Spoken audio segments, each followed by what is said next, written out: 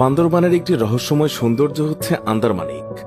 আমরা হয়তো অনেকেই বাংলাদেশের এই জায়গার নাম সম্পর্কে এখনও অবগত নই, তবে বলা হয়ে থাকে বাংলাদেশের প্রাকৃতিক সৌন্দর্যের বিশাল এক অংশ এই আন্দারমানিকে অবস্থিত। কিন্তু নৈসর্গিক রহস্যকেরা এই আন্দারমানিকে সাধারণ মানুষের যাওয়া সম্পূর্ণ নিষিদ্ধ। সাধারণ মানুষ তো দূরের বিষয়ে, বাংলাদেশ সেনাবাহিনীও এই জায়গায় খুব একটা যায় না।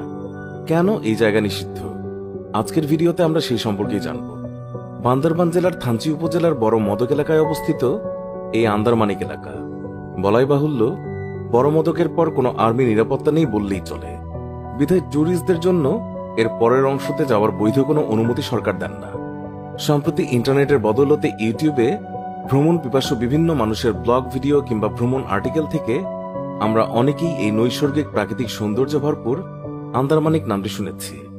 মূলত এখানে উঁচু নিচু পাথরের পাহাড় থাকায় সূর্যের আলো খুব একটা এই এলাকায় পৌঁছায় না, এবং বেশিরভাগ সময় অন্ধকার থাকে।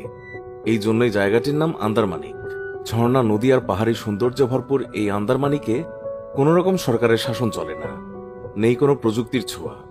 এখানে এখনও প্রাচীন সব রীতিনীতি মেনে চলে এখানকার স্থানীয় মানুষ। সেখানে বসবাসরত আদিবাসীদের মতে, আন্দারমানিক তাদের নিজস্ব রাজ্য।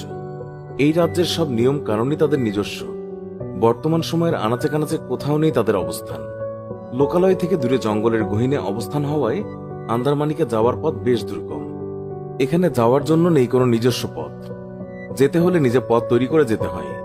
রাত হওয়ার আগেই সেখানে অন্ধকার বাসা বাঁধে গভীরভাবে।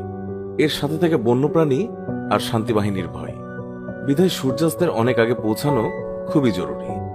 তবে শান্তি বাহিনীর ভয় দিনের বেলাতেও থাকে। এই জন্য বাংলাদেশ সরকার এবং সেনাবাহিনী কেউই সেখানে যাওয়ার অনুমতি দেয় না। আন্দারমানিকে যাওয়ার মূল আকর্ষণ হল নারিশা ঝিরি ঝিরির দুই পাশে প্রায় ষাট সত্তর ফিট পাথরের দেয়াল সমান্তরালভাবে অনেক দূর চলে গেছে। দেখলে মনে হবে ঢালাই দিয়ে কেউ বানিয়ে রেখেছে। আন্দারমানিকের নদীপথ যথেষ্ট দুর্গম। নদীপথে বড় বড় পাথর থাকায় ট্রলার যে কোনো সময় পাথরের সাথে ধাক্কা লেগে বেশ ক্ষতিগ্রস্ত হতে পারে। এই নদীপথ পাড়ি দেওয়ার জন্য সেখানে রয়েছে বিশেষ ধরনের ট্রলার।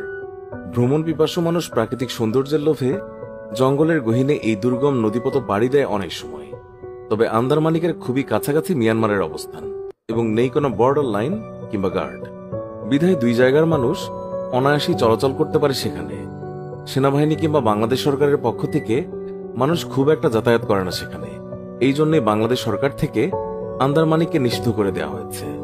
কিন্তু গহীন জঙ্গলের ভিতর সৃষ্টিকর্তার এই অপরূপ সৃষ্টি মনুষ্য জগৎকে বারংবারই আকর্ষণ করে।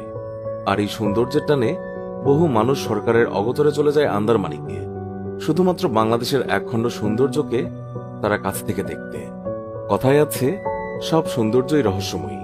তেমনিভাবে আন্দারমানিকও এক ধরনের রহস্যে ঘেরা জায়গা।